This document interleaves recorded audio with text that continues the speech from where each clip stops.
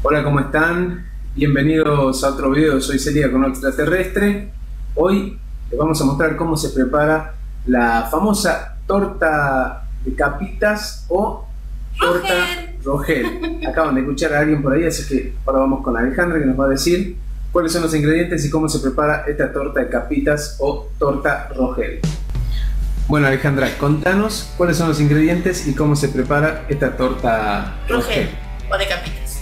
Eh, necesitamos 6 yemas, un huevo, un huevo completo y 6 yemas. Un huevo completo, 6 yemas, 60 gramos de manteca, 200 gramos de premezcla,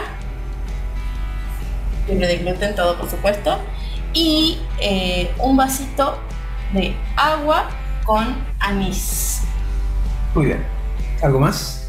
Siempre tener premezcla cerca por si las dudas. Y nada más. Manos a la obra. Manos a la obra. Para preparar esta torta vamos a tener simplemente que mezclar todos los ingredientes.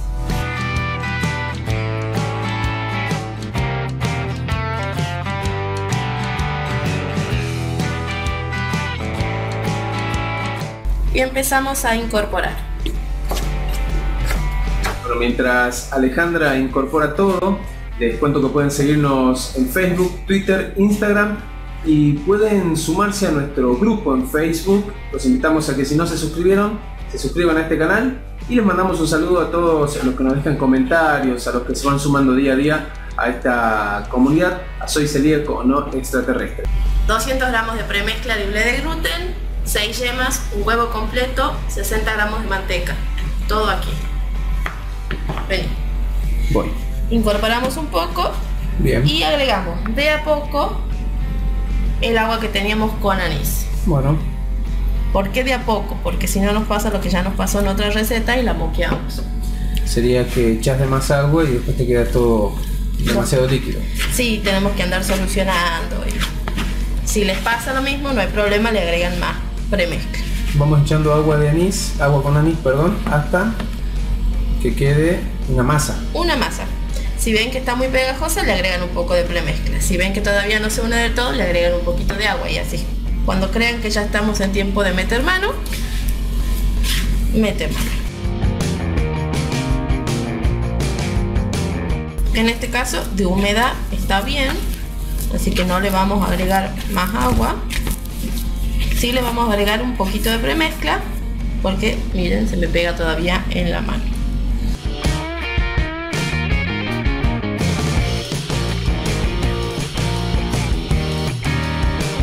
Una vez que tenemos nuestra masa lista, nos debería quedar algo así. A ver.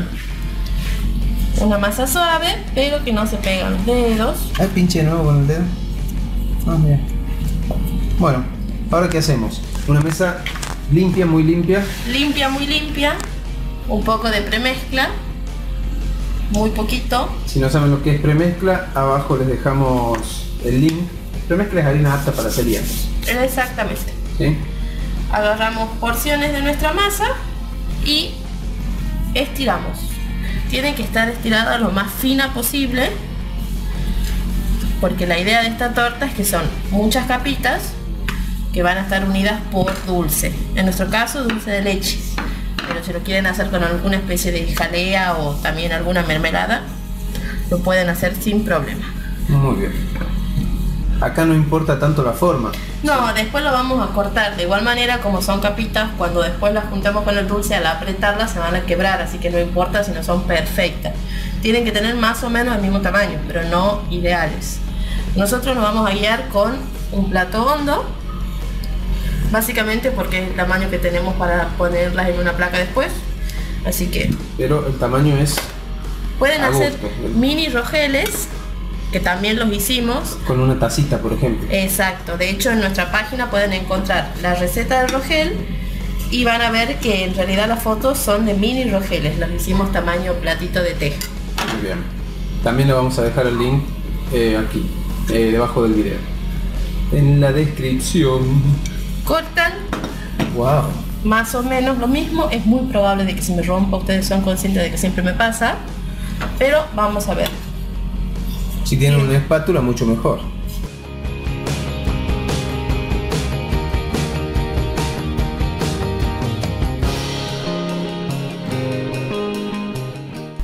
Bueno, despegado. Bueno, de todas formas, muy bien. ¿Qué hacen con esto? Aplausos. Esto lo llevan a una placa limpia, seca, y lo llevan a horno fuerte hasta que se dore. Es un ratito, 5 minutos como mucho, depende del horno. Y así hacen la tirada de capitas que les salga. Bueno, ¿Vamos al horno? al horno. Bueno, bueno, bueno. ¿Qué tenemos aquí, Alejandra? Así quedaron nuestras masitas. Como ven, algunas sufrieron algunos percances, Se accidentaron. pero no hay problema. No hay problema porque lo mismo cuando la apretemos se van a romper, así que sería como adelantar un poquito el proceso. Ahora, ¿qué es lo que vamos a hacer? Vamos a armar nuestra tortita rojete. Vamos a agarrar un platito O una fuente, o, o fuente. A nosotros nos entra en un plato O una bandeja. Sí, sí, sí. Vamos a poner un poquito de dulce de leche para que se pegue. Apto para celíacos el dulce de Libre de gluten, apto para celíacos. Bueno, Y vamos a poner nuestra primera masita. Que como está la más deformina, la vamos a poner a esta. bueno. La ponemos ahí. Ya ni me acuerdo qué pedazo iba en qué lado. Un rompecabezas. agarramos dulce de leche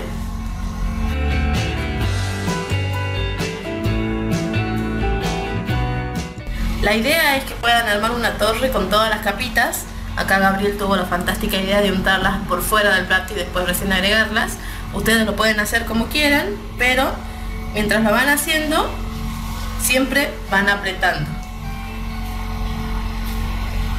Bueno, entonces la idea es que repitan el proceso hasta completar la torre de... eh, de todas las tapitas que hayan salido.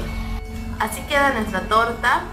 La pueden decorar con merengue más dulce o lo que quieran, salsa de chocolate, mm, ay, El propio dulce de leche. dulce, dulce, más dulce, más dulce. Le pueden poner lo que ustedes quieran. A nosotros nos quedó medio bajita porque nos salieron solamente 7 capas. Si ustedes hacen más capas o las hacen más chiquitas, van a salir una super torta rogel. Esperamos que les haya gustado esta receta, que puedan practicarla y que nos cuenten cómo les fue. Nosotros por lo pronto nos quedamos comiendo. Exactamente, hasta el próximo video. Chao, chao. No se olviden de suscribirse a este canal.